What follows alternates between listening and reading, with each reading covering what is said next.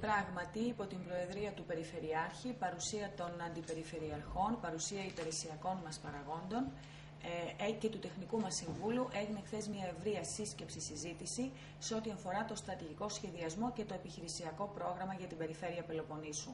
Επίσης γνωρίζετε ότι υπάρχει μια διαπαραταξιακή ε, ομάδα η οποία δουλεύει για αυτό το θέμα μετά από πρόταση του Περιφερειάρχη και του ε, Περιφερειακού μας Συμβουλίου.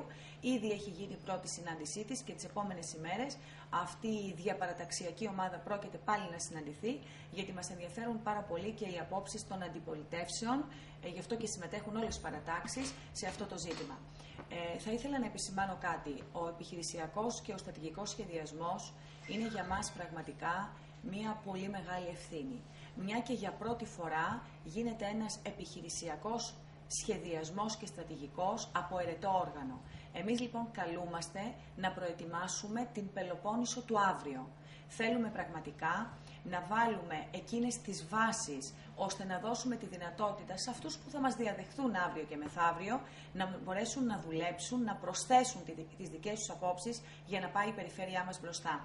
Δεν θα είναι δηλαδή μία απλή καταγραφή της υπάρχουσας κατάστασης. Θα υπάρχει η υπάρχουσα κατάσταση, το βάρος όμως θα το δώσουμε στην Πελοπόννησο του αύριο, που δεν θέλουμε να μοιάζει με την Πελοπόννησο του σήμερα.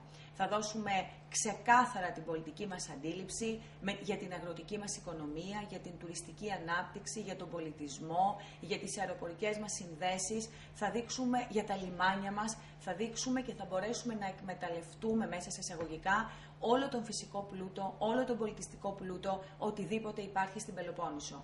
Θεωρούμε ότι αυτός ο στρατηγικός σχεδιασμός όταν θα κατατεθεί στο Περιφερειακό Συμβούλιο πραγματικά θα αποδείξει και θα δείξουμε στους Πελοποννήσους πολίτες ότι δουλεύουμε για το δημόσιο συμφέρον. Δουλεύουμε για την επόμενη μέρα του Πελοποννήσου πολίτη, που θέλουμε να είναι μια καλύτερη μέρα. Ο Περιφερειάρχης Πελοποννήσου με πρωτοβουλία του έχει προτείνει και κάτι άλλο. Για να έχει αυτός ο στρατηγικός σχεδιασμός την απόλυτη, θα έλεγα, τη μεγαλύτερη δυνατή, να πω καλύτερα, κοινωνική αποδοχή, θα σταλεί και στα Δημοτικά Συμβούλια. Θα ακούσουμε και τις απόψεις των Δημοτικών Συμβουλίων. Όπου χρειάζεται να προσθέσουμε κάτι θα το κάνουμε. Θέλουμε να έχουμε μεγάλη κοινωνική συνοχή. Θέλουμε να καταθέσουμε κάτι το οποίο πραγματικά θα έχει αναφορά στην κοινωνία. Αυτός είναι ο στόχος μας στο μικρότερο χρονικό διάστημα, γιατί είναι κάτι το οποίο το κάνουμε γρήγορα, πρέπει να το κάνουμε γρήγορα για να βαδίζουμε σε σταθερά βήματα. Θα είμαστε σε θέση να τον παρουσιάσουμε ολοκληρωμένο και σε εσάς και μέσα από εσάς βεβαίως σε όλους τους πολίτες του Πελοποννήσου.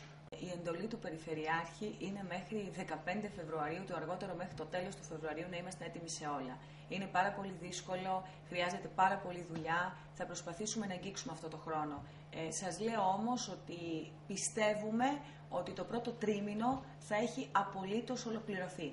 Καταλαβαίνετε ότι το να το στείλουμε στα Δημοτικά Συμβούλια, να συνεδριάσουν τα Δημοτικά Συμβούλια και να επιστρέψει θέλει ένα χρόνο.